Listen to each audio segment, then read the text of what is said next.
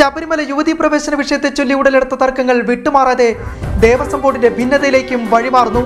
നിലവിലെ board president പത്മകുമാറിനെ പുറന്തള്ളാനും നടക്കുന്നതായിട്ടുള്ള അണിയറ നീക്കങ്ങളാണ് ഇപ്പോൾ മറനീക്കി പുറത്തു വരുന്നത്. ദേവസ്വം ബോർഡ് അംഗം കെ ടി ശങ്കർദാസും ബോർഡ് പ്രസിഡന്റ് പത്മകുമാറും തമ്മിലുള്ള അഭിപ്രായ വ്യത്യാസമാണ് ഇതിന് പിന്നിലെ പ്രധാന കാരണമായി മാറുന്നത്. മുഖ്യമന്ത്രിയുടെ മുന്നിലേക്കും ഈ തർക്ക വിവരങ്ങൾ നീണ്ടു കഴിഞ്ഞു. പല കാര്യങ്ങളിലും ശങ്കർദാസ് നടത്തുന്ന ഇടപെടലുകൾ പലപ്പോഴും തന്റെ അനുവാദം കൂടാതെയാണെന്നും അധികാരത്തെ പരിഗണിക്കുന്നില്ലെന്നുമാണ് പത്മകുമാർ ഉന്നയിക്കുന്ന പരാതി. സി പി ഐയിൽ കാനത്തിന്റെ വിശ്വസ്തനാണ് ശങ്കർദാസ്. ശങ്കർദാസ് ശബരിമലയിൽ ആചാര ലംഘനം നടത്തിയെന്നടക്കമുള്ള പരാതികൾ നേരത്തെ ഉയർന്നിരുന്നു. ഇവിടെയും ദേവസ്വം ബോർഡ് പ്രസിഡന്റിൽ ഇല്ലാതിരുന്ന ഘട്ടത്തിലാണ് ശങ്കർദാസിന്റെ ഭാഗത്തു നിന്ന് ഇത്തരത്തിൽ നടപടികളുണ്ടായത് ദേവസ്വം ബോർഡ് പ്രസിഡന്റ് അഭിപ്രായം പറയേണ്ട പല കാര്യങ്ങളിൽ പോലും ശങ്കർദാസാണ് ദേവസ്വം ബോർഡിന്റെ അഭിപ്രായം എന്ന നിലയ്ക്കുള്ള കാര്യങ്ങളും മറ്റും മാധ്യമ പ്രവർത്തകരെ പോലും അറിയിച്ചിരുന്നത്. ഇത് മാത്രമല്ല ദേവസ്വം മന്ത്രിയുമായും പല കാര്യങ്ങളിലും ദേവസ്വം പ്രസിഡന്റിനെ മറികടന്നുള്ള ആശയവിനിമയം ശങ്കർദാസിന്റെ ഭാഗത്തു നിന്നുണ്ടായി.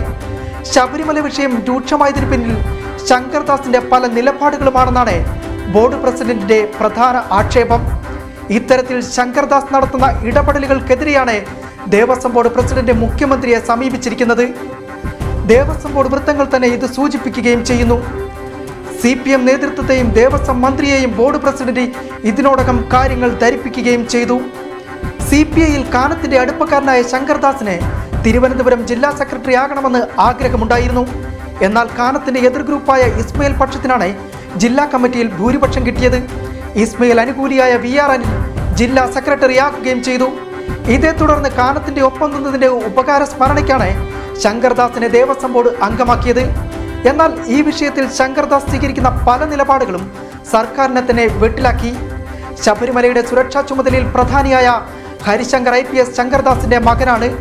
പോലീസ് വേട്ടയ്ക്ക് പിന്നിൽ രാഷ്ട്രീയ ഗൂഢാലോചനയുണ്ടെന്ന് സംഘപരിവാർ നേതാക്കൾ പറയുന്നതിലേക്ക് വരെ ഇക്കാര്യങ്ങൾ കാര്യങ്ങൾ എത്തിക്കുകയും ചെയ്തു. ഈ സാഹചര്യം ഇടതുമുന്നണിയെ കൂടുതൽ പ്രതിരോധത്തിലാക്കിയതായും സൂചനയുണ്ട്. സി പി ഐക്കുള്ളിലും ശങ്കർദാസിന്റെ പല നിലപാടുകൾക്കും കടുത്ത എതിർപ്പാണുള്ളത്. തന്നിഷ്ടപ്രകാരമുള്ള നിലപാടുകൾ പാർട്ടിയുടെ പ്രതിച്ഛായയെ മോശമാക്കുമെന്നാണ് ചില മുതിർന്ന നേതാക്കൾ പോലും ഇതിനോടകം അഭിപ്രായ പ്രകടനം നടത്തിയിരിക്കുന്നത്. എന്തായാലും നിലവിലെ സാഹചര്യത്തിൽ ബോർഡ് പ്രസിഡന്റ് പത്മകുമാറിനെ തള്ളുമോ? ശങ്കർദാസിനെ തലോടുമോ എന്ന കാര്യത്തിൽ സർക്കാരും പാർട്ടിയും എടുക്കുന്ന തീരുമാനം എന്താണെന്നാണ് ഇനി കാത്തിരുന്ന് കാണേണ്ടത്.